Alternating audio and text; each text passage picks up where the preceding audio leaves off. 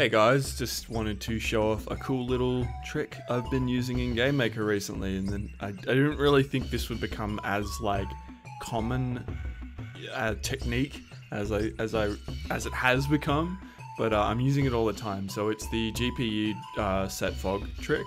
Um, so to to give context, often in Game Maker I find myself wanting to draw just like the sprite of a character, just uh, like in a solid color usually when you're doing something like a hit reaction, so if you're like in a fight and you get hit, uh, you want them to just flash red for like a few frames and then the, that to go away. But it's really hard to do that in Game Maker without using like shaders or something um, because if you say like okay draw sprite extension and then you set the color to red it will just add red on top of the, the sprite's colors that are already there. So you just get like a redder version of the sprite which can be fine like if you want to do that but i think it's way cooler if you can just get like a solid red color. Um, you can also use it for like uh, different things like subtle color grading. Uh, right here, I've got like a bunch of things going on with this little guy. So he's got this trail like when he moves. Come on, move. All right, you can't see it now, but he's got a trail that uh, trails behind him, and those are just like solid colors, uh, but with like a slight, with only like a 50% alpha on them. Uh, that's something that I'm only really able to do because of this uh, effect. Also, his shadow, which you can't maybe tell like initially, you wouldn't notice but it's actually not just like a solid uh, black color. It is a very dark, like bluey purple color that just matches with the overall scene a lot better. So if you're someone, if you're a pixel artist and you want to just kind of draw things naturally, you don't want to have to use like shaders and things to fuck around in Game Maker, this is a trick for you. I'll explain how the the how it works in the context of doing like hit flashes and reactions. So GPU set fog, it's a 3D uh, function in Game Maker, but don't worry, you don't have to set 3D, don't do anything. Just before you draw something, just go GPU set fog. Then this one here, where I've written flash, is enabled, so just set that to one. Uh, and then the color you want, so ideally do do white okay? Do white and we'll just draw you your character as white. And then this here is 3d stuff so that's start and end. You want those to be zero and what what this would do in 3d is like draw the, the fog in the distance. Um, you want to do that like to, to hide like uh, like pop in and stuff like that. In this we just want it to be zero and this will basically just in a 2d plane draw like a completely opaque fog only on that sprite. So anything drawn after this will have that. So you gotta you gotta make sure that at the end you do set it back to zero and to white, uh, and that will reset everything back to just drawing normally. But right in here, so here I've got draw sprite extension. Everything there will be drawn with that uh, solid color and with that fog on it. So then you go, okay, what's this flash? Why have you done that? Okay, what I've got here is basically when uh, like a bullet hits or, or an attack hits my, my little guy, uh, it sets uh, that variable flash to I think like 10 or something.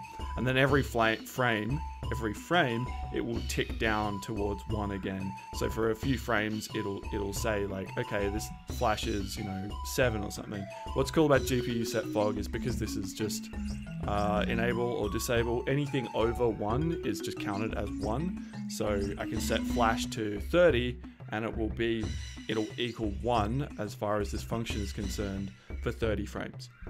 Just cheat here to show you a fight. Alright, so right there. Perfect.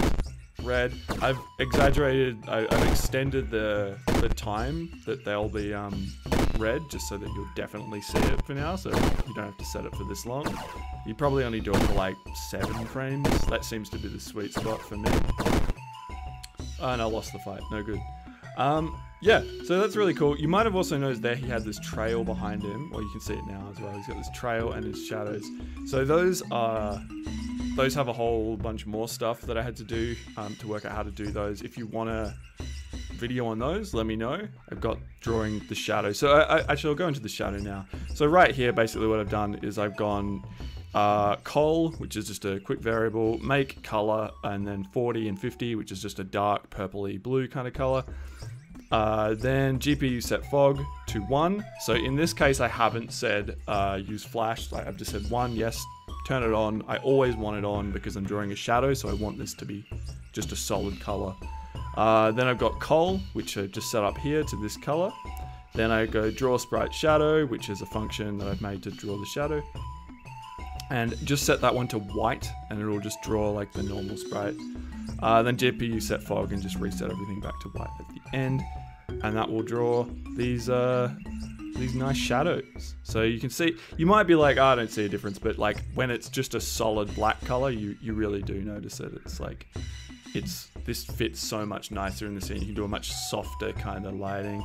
Uh, and you can also, what's cool about that is you can change it in real time as well. You can be like, oh, you know, I want it to just, you know, if it, if you have real time shadows, you could do something like uh, change it to a more like pink or an orange, or, or have it be something that is more of a complementary color to the rest of the scene.